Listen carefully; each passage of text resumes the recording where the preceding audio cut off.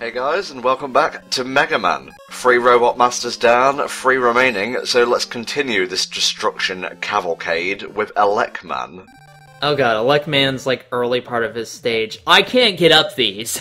I don't fucking know how you're supposed to do it. We'll see it here in a minute, obviously, but I am just complete shit at this stage. Yeah, I hope you uh, enjoy vertical platforming, because there's going to be a lot of it in this stage. It's basically a big tower. Yeah, because that has so much to do with electricity, I guess. Just big climbing towers and stairs. You can stun these guys with the Mega Buster, but you can also destroy them completely with weapons like the Rolling Cutter, which we get from Cutman, and I think Elecman's weapon as well. I don't know why I didn't think to use Robot Master's powers in the stages themselves. I was kind of conserving them for the uh, Masters themselves. My problem is that, um, many times when I play a Mega Man game, you know, like a 2D one like this, often I will just never ever use the Robot Master's weapons, even if they were more helpful in the situation, because I gotta save my ammo and I can't quick select them. If they had like a quick select option, I'd be more than willing to bust them out more often. Look, I really think the NES needs to get on that, you know, just add an extra button during development. Yeah, just travel back in time and slap the developer of the NES, they get together. What the fuck are you doing?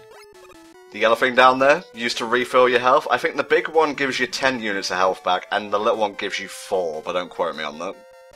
And they uh, do change the designs uh, for those, like in the second game. Like I said, you know, earlier, the second game really improved a whole lot of the presentation, all of the elements, you know, weapons, things like that. So, again, like, this is a very big prototype, except they published it and then they sold it. You can see me just walking into the electricity over and over because apparently I wasn't programmed to learn from my mistakes.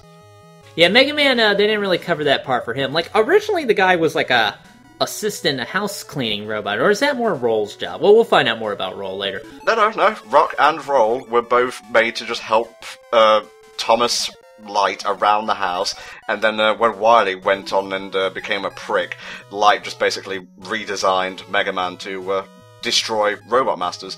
This here is the Magnet Beam. Kind of optional, completely optional actually. You're going to need it to complete the game though, so uh, I would recommend collecting it while you can. Well, it's not really fucking optional if you needed to complete the game, is it? Well, I'm talking about like optional in the grand scheme of destroying Elecman. Optional, extremely helpful item. But you know, you can pass it up if you want. But uh, like you were saying earlier, um, you know, it is true that Mega uh, Dr. Light did redesign uh, Rock to become Mega Man, but I believe Mega Man actually requested that because, you know, he was designed with more of that active learning computer kind of thing. He was kind of the closest thing they had to an AI uh, that actually learns on its own at that point. So Rock basically went, you know, like, hey, you know, I'm willing to volunteer. And Light was actually originally against that. But, you know, with Dr. Wily kind of running around, they kind of didn't really have a choice.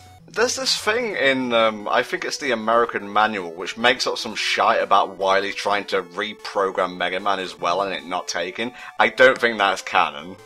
Well, actually, uh, if you play Mega Man Powered Up, uh, depending on who you play as, because you can actually play as the different Robot Masters besides Mega Man in that game. Like, Dr. Wily will come up to you, then he'll make up some bullshit excuse about why he's too lazy to actually use you. Like, I think with like Cuts Man, he's like, "Oh, I'm afraid of scissors" or some shit like that. I don't know. I can't exactly remember. But they're really bad reasons, trust me, for some of them. Like, he doesn't reprogram Fireman in that scenario. Fireman! Come on! The guy who shoots fire! Yeah, you think you'd want him, like, front and center on your fucking world-dominating attack squad. Wow. For all the build-up, that was kind of a lackluster fight. And the weapon we get is actually going to be really helpful for later fights, as we'll see. I'm going to break the game using the Elec Beam. Yeah, everyone probably already knows this trick, but we'll talk about it when we get to it. Okay, the next stage is Iceman's, and my god, this took me like, I think about 30 minutes to an hour, because fuck bottomless pits. I think Iceman, uh, you know, his uh, design here in the NES uh, graphics are is easily the weakest. Like his shoes look too big, his face looks too pouty. I don't know. Again, you it's in the NES. You can only do what you've got, but still. He just reminds me of Captain Cold from, um, I think it's the Flash continuity. I don't know. That's not necessarily bad. Captain Cold is actually a pretty interesting villain. Like all of Flash's rogues gallery uh, are pretty interesting to me personally. Now, Iceman, I think, was uh, designed to like explore Arctic regions, and they're like, God knows what Wily is going to do with it, apart from like freeze a bunch of people. Well, to be fair, Iceman can shoot freeze beams, so that is actually pretty helpful. I'm trying to remember his bullshit reason for not taking up Iceman in Mega Man Powered Up. It was probably something really stupid, like I said. Does it change for each Robot Master? Like, he has an excuse already pre-prepared. He does, for every single one, especially Roll, which you can play as in Mega Man Powered Up. I think his excuse was, oh no, it's a girl, or something like that. I don't Uh, know. of course it was. Oh god, one of the most infamous, I I should say, examples of the disappearing and reappearing blocks in um in uh, any recent memory for me regarding Mega Man. Really, even though this was a NES game and came out about twenty years ago. Yeah, the disappearing blocks, I have always hated those in Mega Man. And I remember this because they reused uh, parts of this stage in Mega Man 2 for the Game Boy. And oh god, it was a fucking nightmare. Uh, how do the Game Boy games stack up against their uh, console counterparts? I think they're pretty good. Like, they obviously reuse stage designs and they reuse, uh, you know, Robot Masters. I think you only have to fight four before you go on to, like, the last area of the game. But still, they're actually pretty well, you know, put together. They hold up pretty well, and it's a cool little Mega Man experience, uh, portable. They were actually at one point going to release, um, they released all the main Mega Man games, like Mega Man 1 through 8, and the Mega Man Anniversary Collection for like PS2, GameCube, things like that. They were gonna do that for actually all the Game Boy games for like DS or Game Boy Advance or something, but that never really panned out for some reason, which sucks because those games are actually pretty decent. So I don't know if you can find a chance to play those, I really do recommend you give them a shot. Oh god, that bottomless pit section with the floating platforms was the bane of my existence. You can use the magnet beam to create bridges that will disappear quite quickly, so you gotta be careful. But if you hold the button down, it can create longer bridges, so it's not too bad, but still a pain in the ass, because like I said, gravity just wants you dead. You go near the edge of a platform, boom, you're going down. So again, optional item, but otherwise not optional at all. Yeah, just rake me over the typo spoken coals, why don't you? Right, here we go. It's time to, you know, I, I kind of was pissed off at the stage, so if the stage is gonna dick me over, I'm gonna dick over the stage. Let's equip the Elec Beam. And check this shit out. We're gonna fire it towards Iceman over here, and then we're gonna keep hitting select. Boom, dead. Yeah, the infamous pause trick. I believe in some versions of this game, it's patched out, and in some versions of the game, it's not patched out. I believe in the Mega Man Anniversary Collection, you can't do the pause trick on the Elec Beam. I don't remember off the top of my head, but this trick will especially be essential for like a big boss fight coming up later on. Fireman, I don't really have much to talk about. The stage is much easier than Iceman's, and, um, the, the guy himself ain't too hard, really. It feels like a breather level, honestly. Well, that's good, especially after the shit you had to put up with- in Elecman's level. You know what I'm saying? Now, you were telling me you, ne- you never finished this game as a kid. No, I barely fucking played it. Like, recently, I was just like, oh god, what am I doing? I'm not made to play games. God did not put me on this earth to do that. but he sure as hell did to let me talk over him, I'll tell you what. hey, uh, talking over games and complaining about them is clearly a talent I was preordained by God to have.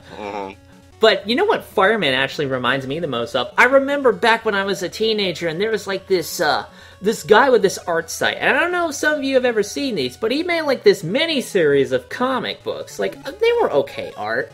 About like he took Fireman and made him like this gritty loner badass and he fought like Searchman. It was the stupidest shit around. But you know what? I kinda liked it. But I can never not think of Fireman and think about those damn comics. That's how much it's permeated me to this day. I don't know if we've talked about this, given my very short-term memory and the like, but the blue things you see throughout the stage will actually refill your Robot Master powers. I think they get refilled whenever you start a new stage, but don't quote me on that. But if you're like low on ammo and the like, because that's basically what it is, just search out those blue tidbits and you'll be all good to go.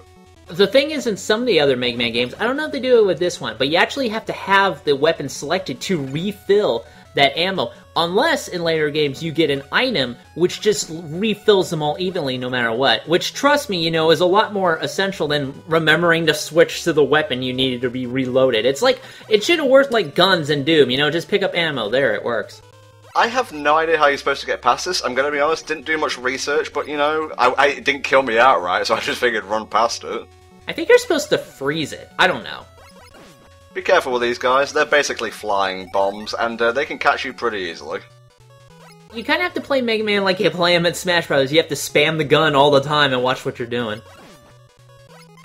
Although I do have to mention very briefly, you know, I just love how they adapted Mega Man to Smash. He's practically perfect in terms of representing the games he comes from. Like, it was almost a flawless conversion, in my opinion. Great selection of music as well, which is more than I can say for Sonic and Metroid. Yeah, Mega Man has always had a bunch of great music, and especially Mega Man 2, we'll get some really iconic songs, but the songs here are pretty good too. I like Cutman and Elecman's stage themes, personally. Yeah, this one's pretty good too. Alright, what you do against fire? Obviously, you gotta bust out the ice, so let's do this. Uh, I thought you were supposed to blow it out, but then again, blow it out, man, doesn't really kind of go off the tongue very well. No, no, Airman's not till Mega Man 2. Well, that's true. Yeah, we'll have to uh, we'll have to worry about that a bit later.